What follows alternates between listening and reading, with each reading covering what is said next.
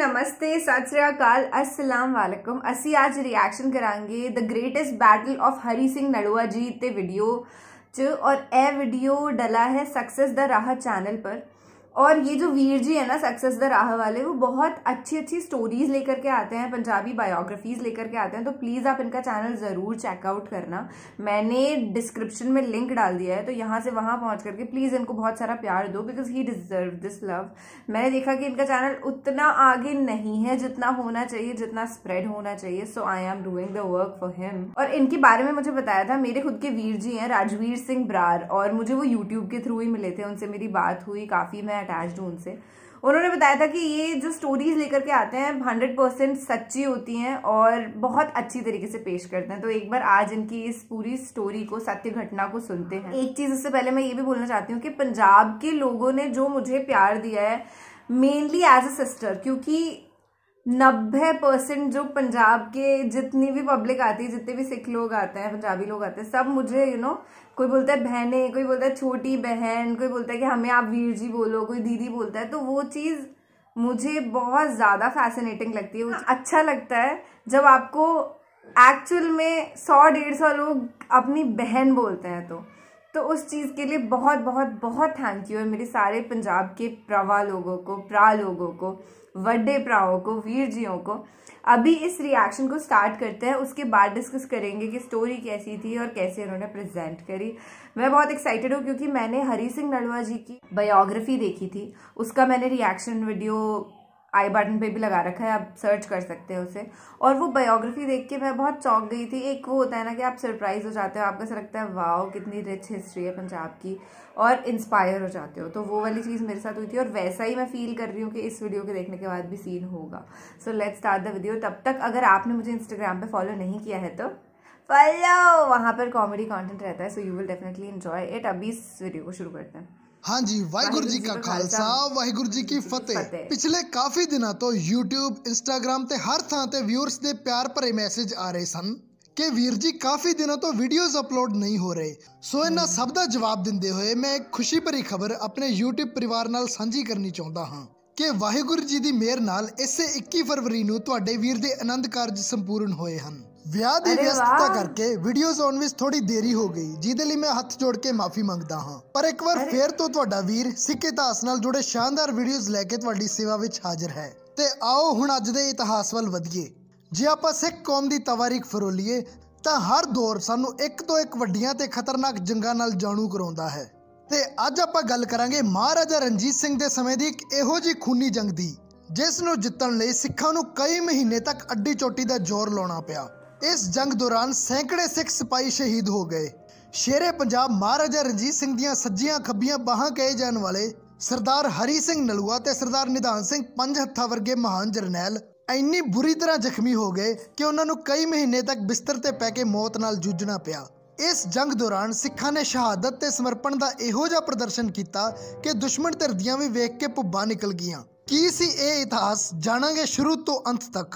ਪਰ ਸ਼ੁਰੂ ਕਰਨ ਤੋਂ ਪਹਿਲਾਂ ਜੇ ਤੁਸੀਂ ਇਸ ਚੈਨਲ ਤੇ ਨਵੇਂ ਆਏ ਹੋ ਤੇ ਜਾਂ ਇਹ ਵੀਡੀਓ ਤੁਹਾਨੂੰ ਕਿਸੇ ਆਪਣੇ ਨੇ WhatsApp ਜਾਂ ਕਿਸੇ ਹੋਰ ਪਲੇਟਫਾਰਮ ਤੇ ਸ਼ੇਅਰ ਕੀਤਾ ਹੈ, ਤਾਂ YouTube ਤੇ ਆ ਕੇ ਸਕਸੈਸ ਤਰ੍ਹਾਂ YouTube ਚੈਨਲ ਨੂੰ ਸਬਸਕ੍ਰਾਈਬ ਜ਼ਰੂਰ ਕਰ ਲਿਓ, ਤਾਂ ਜੋ ਸਿੱਖ ਇਤਿਹਾਸ ਨਾਲ ਜੁੜੇ ਇਸ ਤਰ੍ਹਾਂ ਦੇ ਸ਼ਾਨਦਾਰ ਵੀਡੀਓਜ਼ ਤੁਹਾਡੇ ਤੱਕ ਪਹੁੰਚਦੇ ਰਹਿਣ। ਮਹਾਰਾਜਾ ਰਣਜੀਤ ਸਿੰਘ ਦਾ ਰਾਜ ਉਸ ਸਮੇਂ ਏਸ਼ੀਆ ਦਾ ਸਭ ਤੋਂ ਵੱਡਾ, ਸ਼ਕਤੀਸ਼ਾਲੀ ਤੇ ਸੁਖੀ ਰਾਜ ਸੀ। ਉਹਨਾਂ ਦੇ 40 ਸਾਲ ਦੇ ਰਾਜ ਵਿੱਚ ਨਾ ਤਾਂ ਕਦੀ ਅਕਾਲ ਪਿਆ, ਨਾ ਕਦੀ ਕੋਈ ਦੰਗਾ ਹੋਇਆ ਤੇ ਨਾ ਹੀ ਕਿਸੇ ਜੰਗੀ ਕੈਦੀ ਨੂੰ ਮੌਤ ਦੀ ਸਜ਼ਾ ਦਿੱਤੀ ਗਈ। ਪਰ ਆਏ ਦਿਨ ਗਵਾਂਡੀ ਸੂਬੇ ਮੁਲਤਾਨ ਚੋਂ ਹਾਕਮ ਮੁਜ਼ੱਫਰ ਖਾਨ ਦੇ ਜਨਤਾ ਤੇ ਅਤਿਆਚਾਰ ਤੇ ਆਪਣੀਆਂ ਮਨਮਰਜ਼ੀਆਂ ਚਲਾਉਣ ਦੀਆਂ ਖਬਰਾਂ ਆਉਂਦੀਆਂ ਰਹਿੰਦੀਆਂ ਸਨ। ਲਗਾਤਾਰ ਵਧਦੀਆਂ ਇਹਨਾਂ ਖਬਰਾਂ ਨੂੰ ਠੱਲ ਪਾਉਣ ਲਈ ਆਖਿਰਕਾਰ ਮਹਾਰਾਜਾ ਰਣਜੀਤ ਸਿੰਘ ਨੂੰ ਮੁਲਤਾਨ ਤੇ ਚੜ੍ਹਾਈ ਦਾ ਹੁਕਮ ਦੇਣਾ ਹੀ ਪਿਆ। ਚਾਰੇ ਪਾਸਿਓਂ ਪਿਆ ਵੱਡੀ ਫੌਜ ਦਾ ਘੇਰਾ ਤੇ ਸਤਵੇਂ ਅਸਮਾਨ ਤੱਕ ਪਹੁੰਚਦੀਆਂ ਜਕਾਰਿਆਂ ਦੀਆਂ ਆਵਾਜ਼ਾਂ ਨੇ ਮੁਜ਼ੱਫਰ ਖਾਨ ਦੇ ਹੌਸਲੇ ਨੂੰ ਡੁਲਾ ਦਿੱਤਾ ਤੇ ਉਸਨੇ 9 ਲੱਖ ਰੁਪਏ ਨਜਰਾਨਾ ਭੇਂਟ ਕਰਕੇ ਖਾਲਸੇ ਦੀ ਅਧੀਨਗੀ ਮੰਨ ਲਈ। ਅਧੀਨਗੀ ਮੰਨਣ ਦਾ ਮਤਲਬ ਸੀ ਕਿ ਟੈਕਸ ਤੇ ਬਾਕੀ ਸਾਰੇ ਅਧਿਕਾਰਾਂ ਸਮੇਤ ਰਾਜ ਖਾਲਸੇ ਦਾ ਹੀ ਰਹੂਗਾ। ਪਰ ਰਾਜਗੱਦੀ ਹਜੇ ਮੁਜ਼ੱਫਰ ਖਾਨ ਕੋਲ ਹੀ ਰਹੂਗੀ। ਪਰ ਕੁਝ ਸਮੇਂ ਬਾਅਦ ਉਸਨੇ ਬਾਗੀ ਹੋ ਕੇ ਟੈਕਸ ਦੇਣ ਤੋਂ ਮਨਾ ਕਰ ਦਿੱਤਾ। ਜ਼ੁਲਮ ਵੀ ਇੱਕ ਵਾਰ ਫੇਰ ਸ਼ੁਰੂ ਹੋ ਗਏ। ਸਿੱਖ ਫੌਜਾਂ ਨੇ ਦੁਬਾਰਾ ਹਮਲਾ ਕੀਤਾ ਤਾਂ ਉਸਨੇ ਹੱਥ ਜੋੜ ਕੇ ਮਾਫੀ ਮੰਗ ਲਈ। ਇਸੇ ਤਰ੍ਹਾਂ ਲਗਭਗ 4 ਸਾਲਾਂ ਦੇ ਵਿੱਚੋਂ ਤਿੰਨ ਵਾਰ ਬਾਗੀ ਹੋਣ ਤੋਂ ਬਾਅਦ ਮਾਫੀ ਮੰਨ ਕੇ ਅਧੀਨਗੀ ਮੰਨਦਾ ਰਿਹਾ ਤੇ ਆਖਰਕਾਰ ਚੌਥੀ ਵਾਰ ਉਹ ਕੁਝ ਜਿਹਾਦੀਆਂ ਦੇ ਨਾਲ ਬਾਗੀ ਹੋ ਗਿਆ ਤੇ ਮੁਲਤਾਨ ਦੇ ਕਿਲੇ ਤੇ ਚਾਰੇ ਪਾਸੇ 29 ਤੋਪਾਂ ਬੀੜ ਕੇ ਘੇਰਾਬੰਦੀ ਕਰਕੇ ਬੈਠ ਗਿਆ।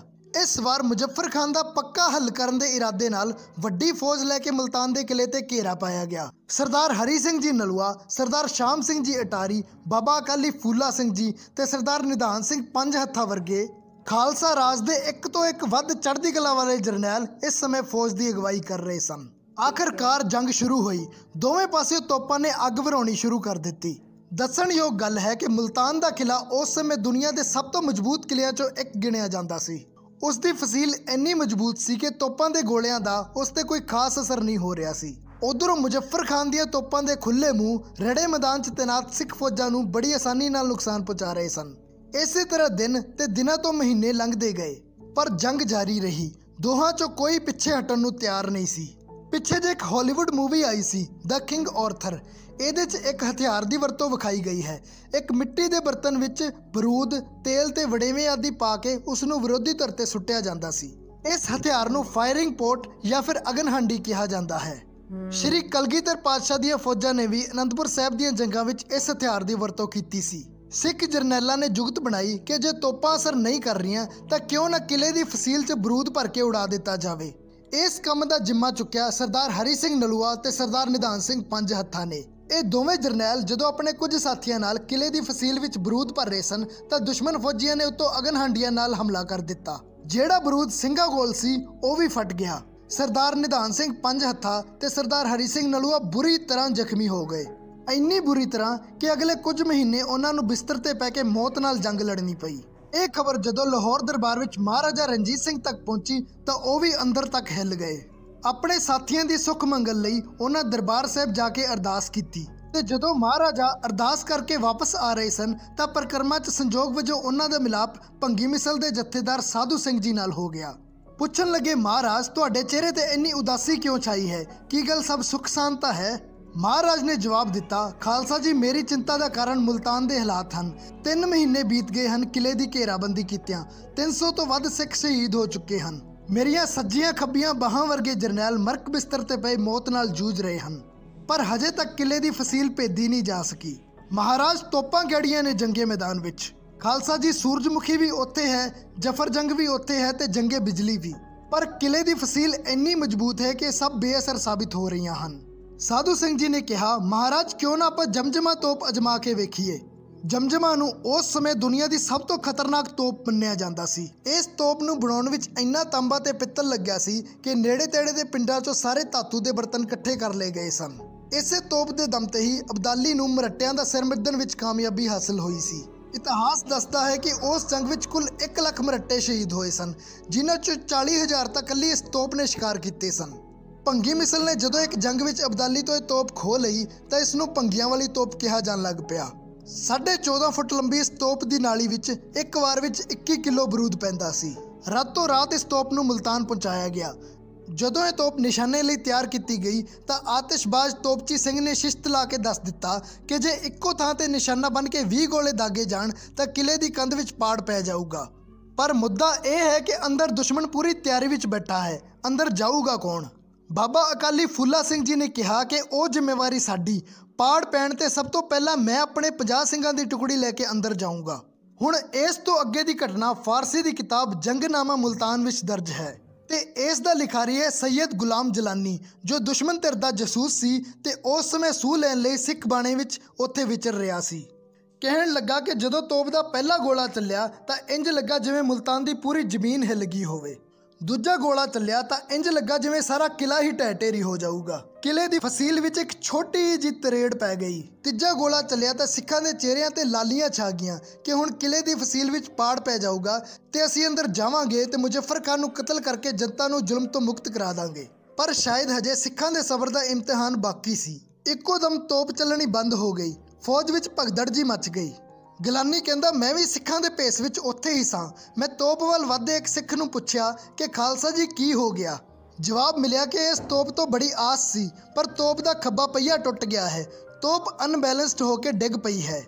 ਇੰਨੀ ਛੇਤੀ ਮਿਸਤਰੀ ਨਹੀਂ ਮੰਗਾਏ ਜਾ ਸਕਦੇ ਤੇ ਉਤੋਂ ਮੁਜ਼ੱਫਰ ਖਾਨ ਦੀਆਂ 29 ਤੋਪਾਂ ਰੜੇ ਮੈਦਾਨ 'ਚ ਖੜੀ ਫੌਜ ਤੇ ਗੋਲੇ ਵਰਾ ਰਹੀਆਂ ਹਨ। ਬੜੀ ਮਾੜੀ ਹਾਲਤ ਹੈ। ਕਹਿੰਦਾ, ਹੁਣ ਹੁਣ ਤੋਪਚੀ ਸਿੰਘ ਕਹਿੰਦਾ ਹੈ ਕਿ ਜੇ ਇੱਕ ਇੱਕ ਸਿੱਖ ਵਾਰੀ ਨਾਲ ਆ ਕੇ ਤੋਪ ਨੂੰ ਆਪਣਾ ਮੋਢਾ ਦੇਵੇ ਤਾਂ ਤੋਪ ਚਲਾਈ ਜਾ ਸਕਦੀ ਹੈ। ਪਰ ਜਦੋਂ ਤੋਪ ਚੱਲੂਗੀ ਤਾਂ ਮੋਢਾ ਦੇਣ ਵਾਲੇ ਦੇ ਸਰੀਰ ਦੇ ਚਿਥੜੇ ਚਿਥੜੇ ਉੱਡ ਜਾਣਗੇ। ਸੁਭਾਵਕ ਜੀ ਗੱਲ ਹੈ ਕਿ 12 ਬੋਰ ਦੀ ਮਦੂਦ 'ਚ ਗ੍ਰਾਮਾਂ ਦੇ ਵਿੱਚ ਬਰੂਦ ਪੈਂਦਾ ਹੈ।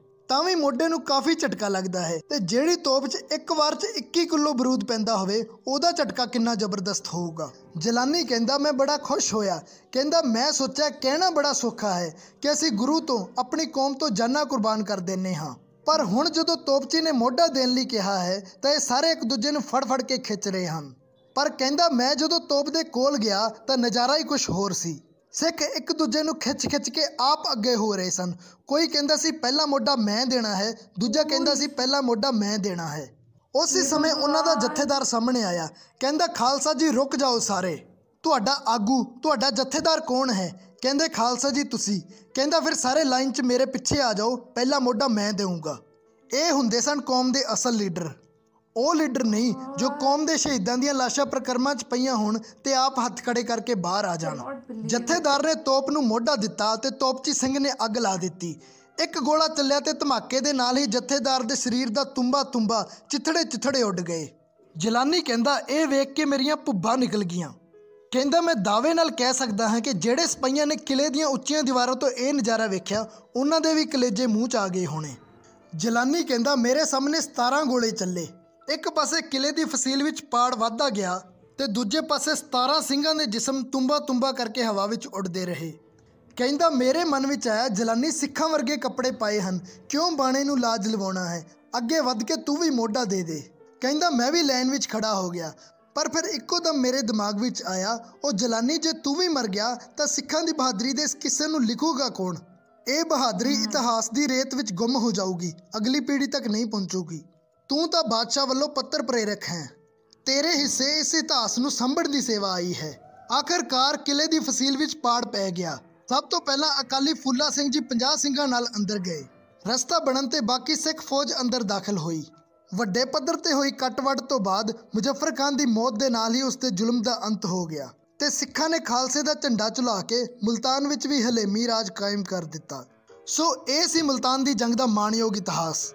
ਇੱਕ ਇਹੋ ਜਿਹਾ ਬਹਾਦਰੀ ਭਰਿਆ ਕਿੱਸਾ ਜਿਸ ਨੂੰ ਸੁਣਨ ਤੋਂ ਬਾਅਦ ਹਰ ਇੱਕ ਸਿੱਖ ਦਾ ਸਿਰ ਮਾਨ ਨਾਲ ਉੱਚਾ ਹੋ ਜਾਊਗਾ ਪਰ ਬੜੇ ਹੀ ਅਫਸੋਸ ਦੀ ਗੱਲ ਹੈ ਕਿ ਸਾਡੀ ਨਵੀਂ ਪੀੜ੍ਹੀ ਨੂੰ ਸਾਡੇ ਬੱਚਿਆਂ ਨੂੰ ਇਸ ਇਤਿਹਾਸ ਬਾਰੇ ਬਹੁਤ ਘੱਟ ਜਾਣਕਾਰੀ ਹੈ ਸੋ ਤੁਹਾਡੇ ਕੋਲ ਵੀ ਮੌਕਾ ਹੈ ਸੇਵਾ ਖੱਟਣ ਦਾ ਇਸ ਵੀਡੀਓ ਨੂੰ WhatsApp ਦੇ ਹਰ ਗਰੁੱਪ ਵਿੱਚ ਜਿੰਨਾ ਹੋ ਸਕੇ ਵੱਧ ਤੋਂ ਵੱਧ ਸ਼ੇਅਰ ਜ਼ਰੂਰ ਕਰਿਓ जब वो तोप वाली बात आई ना मेरे लिटरली रोंगटे खड़े हो गए क्योंकि यार ऐसा पॉसिबल है क्या होना मैंने कभी भी अपनी लाइफ में ऐसा ऐसा इतिहास नहीं सुना यार जहाँ पे इतनी बड़ी कुर्बानी दे दी हो किसी ने। जान की कुर्बानी बहुत लोग देते हैं, पर इस तरीके से देते हुए मैंने पहली बार ही कोई किस्सा सुना है। और बहुत बड़ा सल्यूट है, अगर इन्होंने बोला ना कि हर एक सिख को प्राउड होना चाहिए इस चीज़ के लिए तो मुझे लगता है कि बिल्कुल सही बोला और होना भी चाहिए। If you are a Sikh if you are a Punjabi you should be proud of your culture और जब अपन इतने रिच कल्चर से बिलोंग करते हैं, इतने स्ट्रॉन्ग हिस्ट्री से बिलोंग करते हैं तो अपने को एक गर्व होना भी चाहिए। बोले, सोनेहाल, सत श्री अकाल। वाहे गुरु जी का खालसा वाहे गुरु जी की फतेह। हरी सिंह नडवा जी की बात जब भी आती है ना तो आप उनकी कोई सी भी स्टोरी सुन लो, आपके रोंगटे खड़े हो ही जाएँगे, उनकी बायोग्राफी देख लो, उनकी स्टोरी सुन लो। It's just you feel his sacrifice कि जो उन्होंने किया है इस दुनिया के लिए, बहुत बड़ी बात है। और यार, कैसे? आजकल के जितने भी नई पीढ़ी के बच्चे हैं, सब वो वो लोग अगर इन स्टोरीज को सुनेंगे कि this is what was the sacrifice they did ताकि आज हम पीस में रह सकें। Share this video as much as possible आप जितना शेयर कर सकते हैं, अपने फ्रेंड्स के साथ इस वीडियो को शेयर करिएगा लाइक करिएगा कमेंट करिएगा, और चैनल को सब्सक्राइब ज़रूर करिएगा। मेरे चैनल को भी और सक्सेस द राह को भी। Thank you so much for watching this reaction video Instagram पे फॉलो भी ज़रूर करिएगा। वहाँ पर कॉमेडी कंटेंट रहता है। रोज आपको कुछ ना कुछ इंस्पायरिंग कुछ कॉमेडी आपको अपडेट्स मिलते रहेंगे